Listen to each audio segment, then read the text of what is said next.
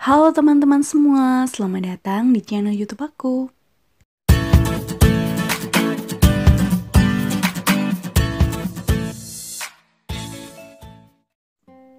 Halo teman-teman, di video kali ini aku akan bikin salah satu jajanan pasar, yaitu kue gemblong. Ada juga yang menyebutnya kue getas, tapi kalau untuk di daerah aku ya, di kampungku biasanya disebut dengan kue kemplang ya. Ya udah, langsung aja ke bahan-bahannya. Di sini aku pakai 150 gram tepung ketan, 25 gram tepung beras, 130 gram kelapa parut. Tapi punya aku ini nggak ada 130 gram ya ini cuman seadanya aja di rumah. Garam terus 150 ml santan untuk santannya sesuaiin aja ya teman-teman. Dan kita campur semua bahannya menjadi satu dan kita ulenin sampai bisa dibentuk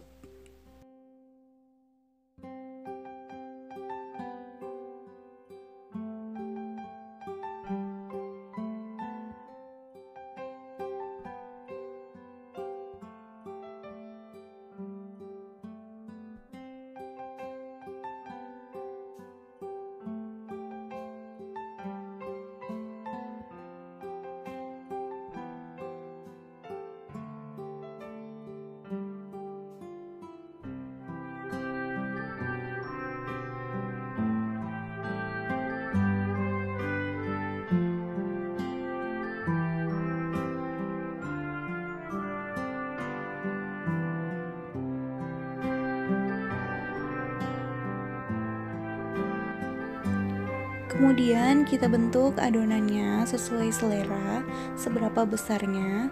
Kalau aku suka yang seperti ini ya teman-teman. Dan ulangi semuanya sampai selesai.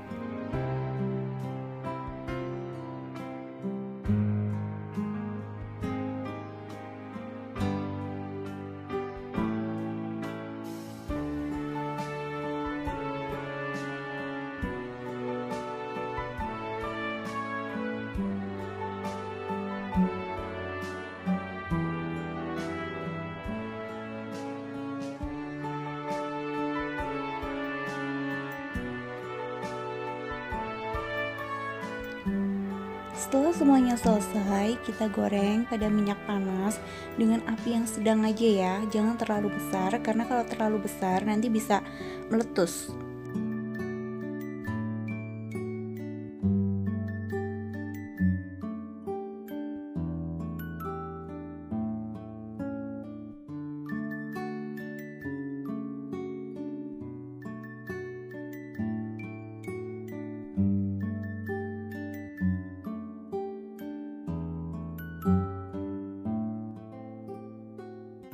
Kemudian setelah matang, kita angkat dan tiriskan. Kemudian kita bikin lapisan gulanya. Di sini aku pakai 100 gram gula pasir dan 40 ml air. Kita masak sampai gulanya benar-benar mencair dan benar-benar masak.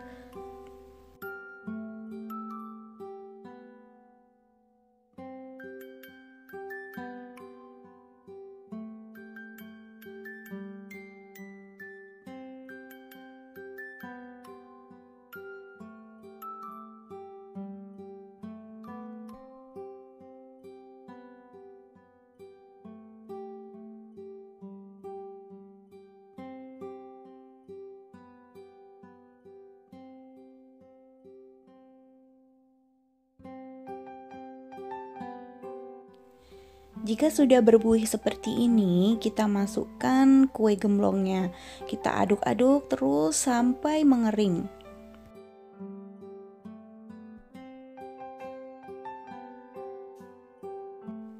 Jika air gulanya sudah mulai mengering seperti ini, kita matikan kompornya dan kita tetap aduk-aduk sampai benar-benar gulanya itu kering dan menempel di adonan.